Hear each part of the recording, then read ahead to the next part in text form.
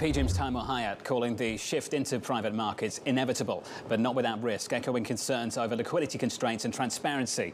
Taimur joins us right now, I'm pleased to say.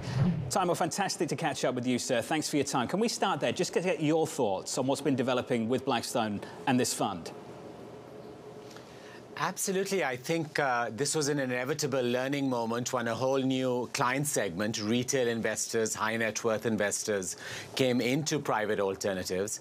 It is inevitable that when you have less liquid strategies with leverage, in a retail vehicle that you can't get access to it with daily liquidity or even with monthly liquidity.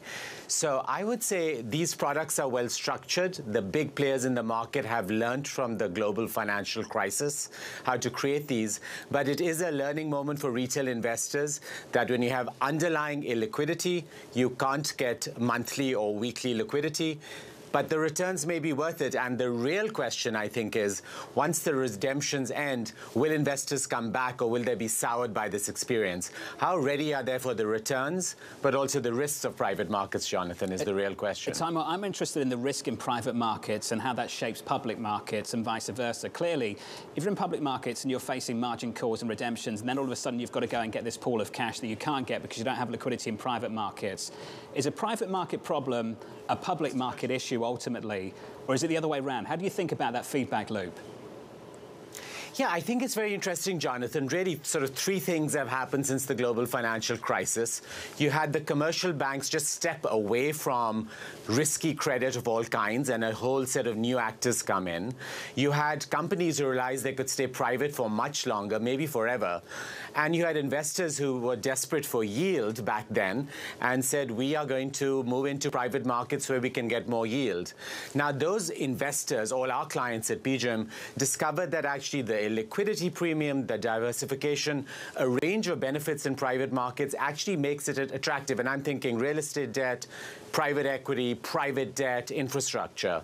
But you're absolutely right when, you know, the cocooning of the world economy by the central banks goes away, some real vulnerabilities arise in private markets, and that's absolutely a cause of concern. How are you expecting that to materialize? Because clearly these investments made sense at 25 basis points on Fed funds, maybe 1%, perhaps even 2 How does it work at 5 it, it, it really exposes some vulnerability. Some we've already seen. We've seen the collapse of the cryptocurrency market. We've seen real estate values in the REIT market come down. So the obvious bubbles in the economy have already come. But what we are looking for next at PGIM is what are the other vulnerabilities? One is there's just less transparency and information once we move from the five big banks to a much broader set of private credit lenders.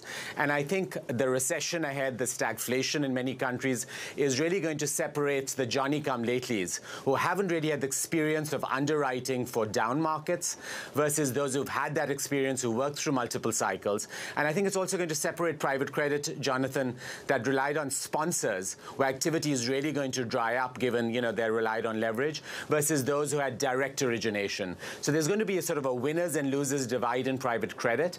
And then the other risk I think investors should look at is more transparency in the past the parcel game that is happening in private equity, where with continuation funds and subscription lines, you're never getting a mark to market from public markets on private equity companies, yep. but they're passing from one fund to another or getting a subscription line. I think that's a trend to look at very carefully and another place for vulnerability. Forgive me for only giving you 30 seconds to answer this, but that's all I've got. How are you as a firm managing this risk? Taimur at PGIM going into next year? I think uh, this is a time for humility. It's a time for scenario analysis, and it's a time for not jumping into soon. But nevertheless, Jonathan, we think next year, late next year, a little later than people think, this will be one of the best investment markets for both public and private assets. But patience is key.